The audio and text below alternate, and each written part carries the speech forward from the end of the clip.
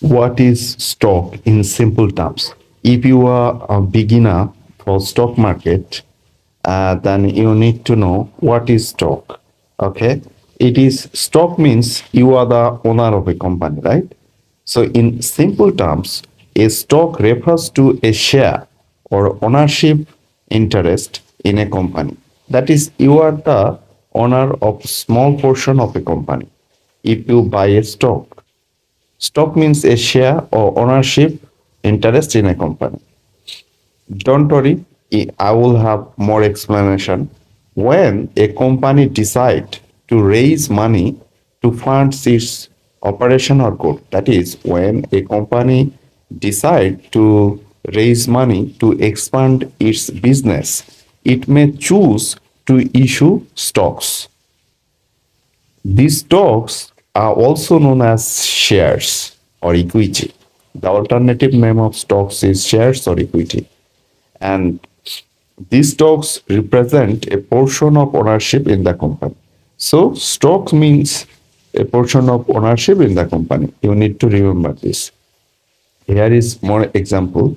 When you buy a stock, you are essentially purchasing a piece of the company. Already I said as a shareholder, you are called a shareholder if you purchase a stock.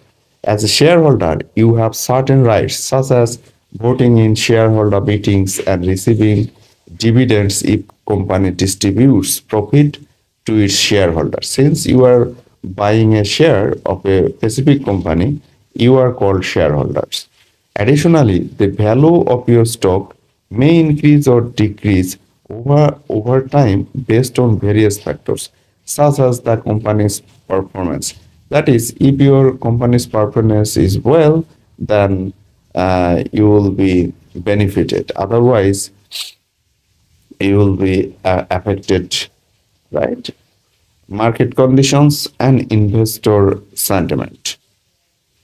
People often buy stocks with the exception that company will perform well people expect that company uh, will do better.